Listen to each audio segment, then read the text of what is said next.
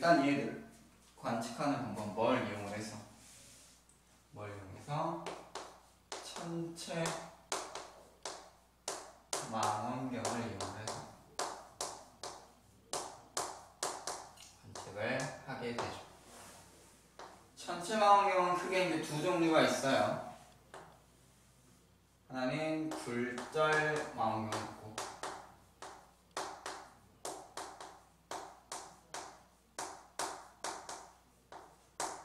하나는 반사 망원경 있습니다.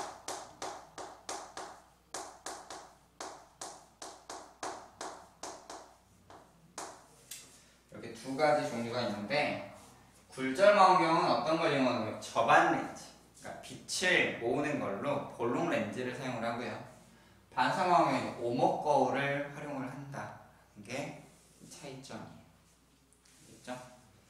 이렇게 되는데 음, 자 이제 어떤 형식으로 활용이 되냐면 굴절 망원경은 일단 생김새가 어떻게 생겼냐? 일자로 생겼어요.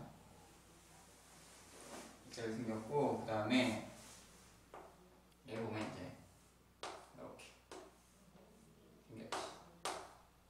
생겼는데 굴절망원경은 이제 뭘 이용하는 거냐면 여기 이제 여기는 뭐냐면 얘가 뭘까요? 이제? 우리가 사물을 볼 때 대물 렌즈라고 해요. 대물 렌즈.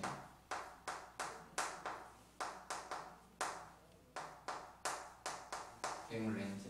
여기는 뭐라고 하냐면 이거는 접안 렌즈. 이렇게 불리고 있습니다. 있나요? 이렇게 되고. 자 우리가 굴절 마음 같은 경우는 어떤 식으로 이제 물체를 보느냐? 별빛이 반사되면 이쪽으로 이제 뭐가 들어오겠어? 빛이 이렇게 들어오겠지. 렌즈의 작동 원리에 의해서 어떻게 돼요? 상이 어떻게 되잖아 뒤집어져서 들어가게 됩니다. 이런 식으로 뒤집어져서 들어가. 이런 식으로 뒤집어져 들어가게 거지 그럼 이제 어떻게 돼요 요렇게 이제 우리가 물체를 볼 수가 있는 저반 렌즈 이쪽으로 이 물체를 보게 된다. 알겠습니까? 이게 뭐예요? 굴절 망원경의 원리야. 자, 근데 이제 반사 망원경 같은 경우는 이제 어떻게 작동을 하는 거냐면 이 통을 이제 경통이라고 하는데 커다란 통이 이렇게 있고요. 통이 이렇게 있고 대신 이제 어, 이 굴절 망원경은 여기 이제 뭐가 있냐면 여기 이제 오목 거울을 이렇게 달아둬. 오목 거울이 이제 빛을 모아주는 역할을 하는 거예요. 그리고 나서 오목 거울 이렇게 있으면 이쪽 옆에다가 이제 뭐를 쓰냐면 평면 거울을 하나 둬요. 평면 거울이 하나가 있고 여기서 이렇게 톡 튀어나오고 여기에 이제 뭐가 있냐면 이쪽에 저반 렌즈가 붙어 있는 그래서 물체가 어떻게 보이게 되냐? 빛이 들어오잖아요. 빛이 경통을 통해 이렇게 쭉 들어오게 되고 이 빛이 어떻게 돼? 오모멘으로 이렇게 빛이 모이는 거야. 모여서 이렇게 우리 눈에 보이게 되는 거지. 어떤 원리인지 알겠어요? 이제 이러한 구조에 의해서 우리는 뭘 볼 수 있다. 천체들을 관측을 할 수가 있더라라는 겁니다. 일반적으로 이제 쓰는 같은 경우는 어떻게 생겼냐면 경통이 이렇게 있고 이렇게 생겼고 여기 이제 뭐 파인도 하나 이렇게 달려 있고 보조 망원경이라고 그래요. 파인도 하나 달려 있고 그 다음에 여기 이제 중심추 하나 달려 있고 여기 이제 삼각대 이렇게 대충 이제 이런 형식으로 생겼어요. 천정하게 구조가 이렇게 돼 있고 그 다음에 이제 중심을 맞추기 위한 중심추가 달려 있고 여기 그리고 여기 이제 조절 나사 해가지고 망원경에 초점을 조절해주는 이런 것들이 이제 달려 있는 게 뭐의 구조? 천체 망원경의 구조더라. 예, 이거는 뭐 이렇게 한번 쭉 이제 읽어보면서 얘가 이제 어떻게 생겼나 이런 걸 이제 봐주면 되는 거고 집중해서 하나하나 이제 세세하게 이렇게 보지는 않아도 되는 부분들이 되겠죠? 이렇게 되고 자 그 다음에 이제 달과 태양을 이제 관측을 해야 돼요. 달의 특징과 태양의 특징에 대해서 한번 볼 수 있도록 할게요. 달이라고 하는 거는 뭐야? 지구의 뭡니까? 위성이죠. 지구의 위성입니다. 자, 크기는 지구에 얼마쯤 되냐면 한 4분의 1 정도 돼요. 크기는. 그 다음에 중력은 얼마쯤 되냐면 지구의 한 6분의 1 정도의 중력을 가지고 있으니까 달에는 훨씬 이제 가볍지. 그 다음에 질량. 질량 같은 경우는 얼마쯤 되냐면 지구에 얼마쯤 한 80분의 1 정도로 되어 있는 게 달이더라라는 거죠. 달의 생김새를 보자면 달이 이렇게 생겨 있는데 보시면 이제 검은색으로 이렇게 막 되어 있는 부분이 있고요. 진한 색으로 거기에 반해 운석 구덩이가 되게 많은 부분들이 이렇게 있어요. 자, 달의 부분을 우리가 구분을 해본다면 이제 우리가 고지와 달의 바다 부분이 있는데 고지라고 하는 부분은 이제 좀 밝은 부분 밝은 부분이고요. 그다음 바다는 좀 어두운 부분입니다.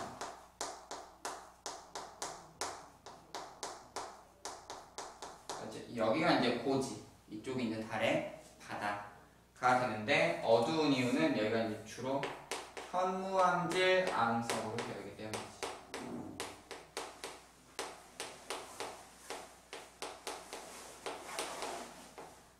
고지라고 하는 거는 말 그대로 높은 지역이에요. 고지대고 달의 바다는 거기에 반해 이제 저지대입니다. 낮은 부분이 이제 바다가 되는 건데 현무암 하면은 뭐 떠오르는 거 있나요? 화산 활동. 화산. 용암이 굳어서 만들어진 게 현무암이잖아요. 그렇게 되는데 왜 그러면 달의 바다가 현무암지로 되어 있느냐? 애초에 달엔 대기가 없어요. 애초에 달은 대기가 없습니다. 그렇기 때문에 풍화나 침식이 일어날까 안 일어날까? 일어나지 않습니다. 바람이 불거나 물이 흐르는 게 아니기 때문에 그대로 유지가 돼요. 그러니까 운석이 떨어지면 이런 운석 구덩이들이 그대로 유지가 됩니다. 그러니까 이런 거 하나하나가 다 뭐예요? 운석 구덩이죠. 이런 게 어디에 많은데 고지에 많은데 원래는 바다에 도 많이 있었지만 바다는 이제 달 내부에서의 화산 활동에 의해서 화산 폭발하게 되고 그래서 현무암이라는 게 생긴 거야. 그러면서 기존에 있던 운석 구덩이들이 다 사라져 버렸어. 그러다 보니까 여기는 조금 더 젊은 젊은 암석이고 라고 할 수가. 그러니까 고지부는 좀 오래된 암석이고요. 여기 바다 부분은 좀 젊은 암석이다. 라는 걸 우리가 이제 확인을 해볼 수가 있습니다. 그리고 또 대기가 없기 때문에 풍화 침식에도 어떤 특성이 있어? 일교차가 매우 큽니다. 낮과 밤의 온도차가 매우 크죠. 특히 자전을 하게 되면은 자전주기랑 공전주기가 같잖아요. 그러다 보니까 되게 느리게 자전을 하겠지. 그러면서 밤이 길고 낮이 길기 때문에 일교차가 굉장히 길게 나타나더라라고 하는 게 뭡니까? 달의 특성이더라 라고 볼 수가 있겠어요. 알겠죠? 그렇게 이해를 하시면 되고 그 다음 이제 태양입니다. 태양. 간단하게만 볼 거기 때문에 시간은 그렇게 오래 걸리진 않아요. 자, 태양이라고 하는 거는 뭐예요?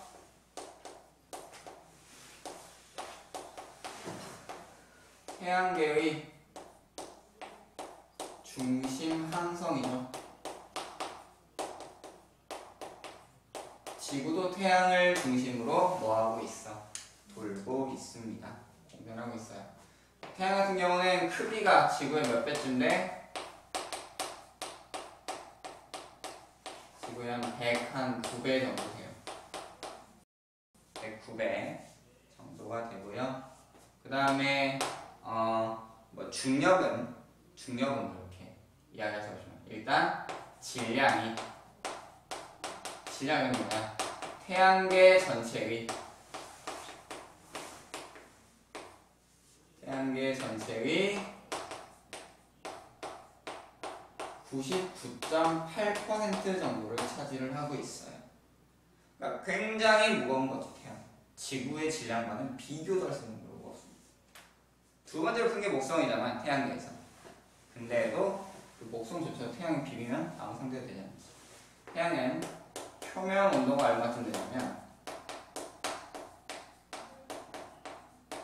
약 6,000도씨 정도가 돼요. 되게 높죠. 내부는 훨씬 더 높겠지. 태양 내부에서는 핵융합 반응, 수소의 핵융합 반응에 의해서 내부는 몇 천만 도시가 됩니다. 몇 천만 도시. 그럼 1억에 달하는 정도를 가지고 있고, 그 다음에 또 특징적인 게 뭐 있을까? 아, 구성 물질은 주로 뭐냐면,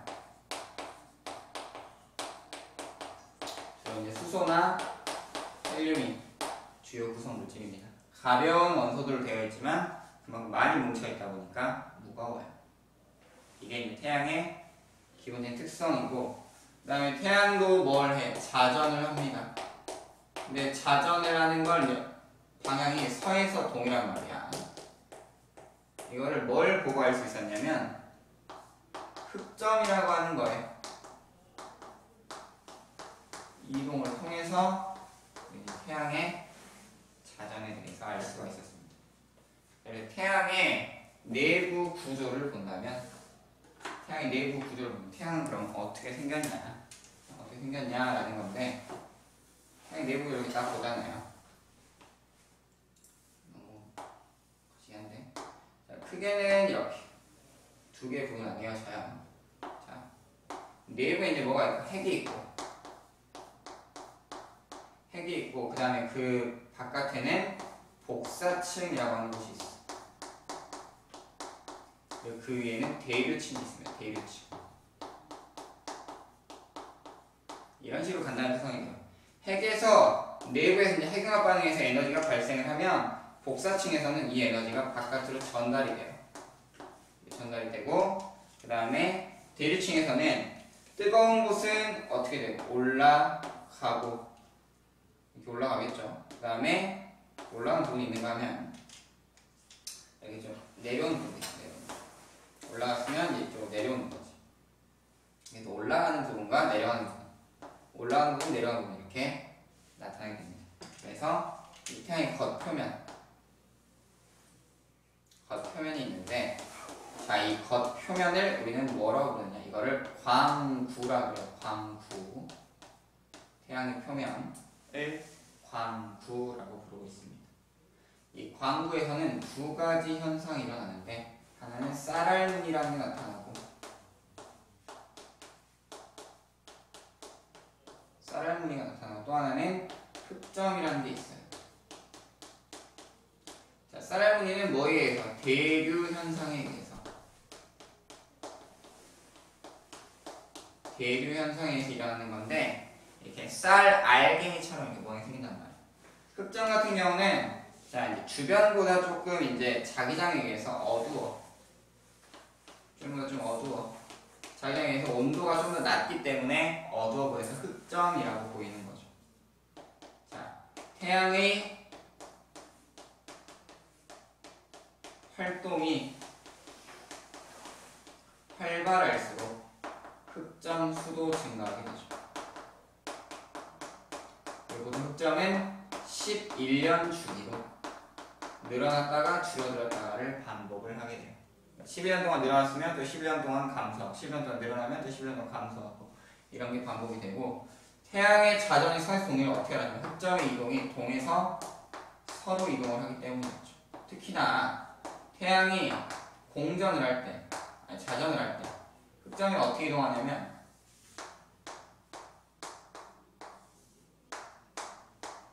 이런 식으로 저위도에 있는 흑점이 조금 더 빠르게 이동하는 걸 우리가 볼 수가 있었습니다. 그래서 태양의 구성 물질이 뭐다. 기체 물질로 되어 있구나 라는 것까지 이걸 통해 알 수가 있었어요.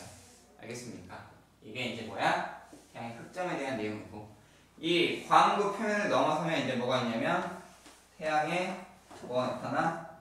대기가 있게 되죠. 대기. 태양의 대기. 자, 이 태양의 대기에 대해서 한번 알아보겠습니다. 태양의 대기. 태양의 대기에서는 크게 네 가지 현상들이 일어나요. 크게 네 가지 현상. 일단 뭐가 있냐면 채층이죠. 채층. 채층이라고 하는 건 이 대기 표면에서 얇게 이렇게 이글이글 타고 있는 이걸 이제 채층이라고 해요. 채층. 이라고 하고 그다음 두 번째 코로나가 있어. 코로나. 코로나는 이렇게 하얗게 돼가지고 대기에서 이렇게 퍼져나와요. 그 다음에는 홍염. 홍염이라고 하는 건 이제 빨간색 불기둥 뻥 이렇게 일어나고 그 다음에 또 하나는 플레어. 폭발이 이렇게 일어나죠. 채층, 코로나, 홍염, 플레어 이렇게 네 가지 현상들이 일어나는데 이거는 평소에는 볼 수는 없고요. 언제 볼 수 있냐면 일식이 일어나면 태양이 달의 그림자에 가려지는 일식이 일어나면 그때 이제 보이게 되는 현상들입니다. 그리고 이러한 태양의 활동에 따라서 우리는 어떠한 현상들이 나타나느냐? 먼저 자기 폭풍. 태양의 활동이 활발해지면 자기 폭풍이라고 해가지고 막 인공위성이 고장이 난다든지 뭐 이렇게 통신 장비가 교란이 이런 델린저 현상 델린저. 현상 여기 일어나고 그 다음에 오로라 오로라라고 하는 거는 이제 태양의 자기 폭풍이 지구에 날아오게 되면 지구에 자기장이 있어요.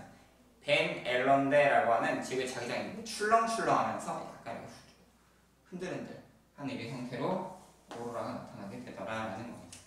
알겠습니까? 이러한 것들이 뭐가 있다. 태양의 어, 이렇게 특성들. 근데 이걸 보기 위해서 뭘 쓴다? 천체망경을 쓰게 되고, 그쵸? 천체망경 쓰고 그 다음에 뭐 다른 뭐 이런 특성이 있으며 태양 뭐 이런 특성이 있더라고. 조금 이제 짧고 빠르게 봤는데 시간이 많았더라면 좀 더 많이 봤겠지만 시간이 부족하여 좀 짧게 봤습니다. 십몇 분 본 것 같아요. 십몇 분. 너무 빨리 본 것 같은데. 짧게 볼게. 이제 집에 가서 안 볼 거잖아. 진짜? 진짜 다 진짜 봐야 될 것 같아? 네, 알겠습니다. 전화 나오네요. 전화 번호 가겠다. 네, 여기까지 하고